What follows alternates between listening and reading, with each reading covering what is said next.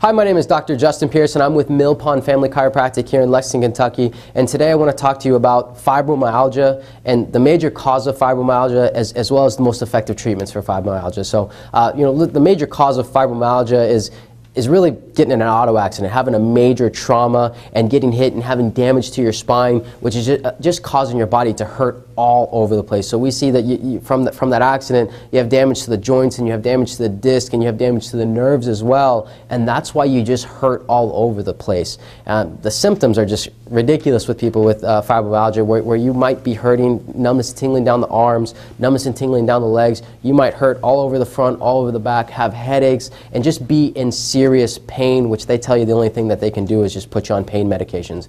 I'm going to tell you what we do in our office, people with fibromyalgia, is we really just restore your spine back to health so that we can begin that process of healing in you.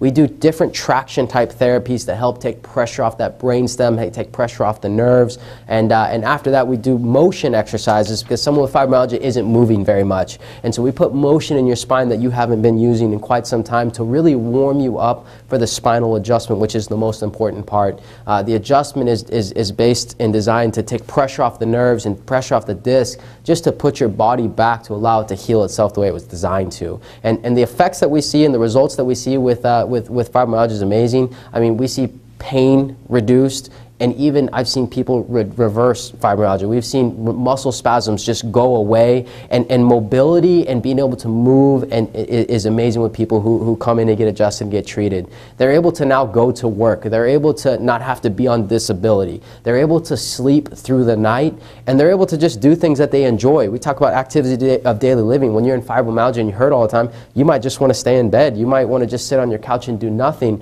You don't ever want to get dressed. You don't ever want to get ready. You don't want to be there and you're not there for your kids and your grandkids, and, and, and that's a big problem. So if you have fibromyalgia and, and, and you're searching for answers, give me a call. We can definitely help you. And that phone number is 859 219 0617.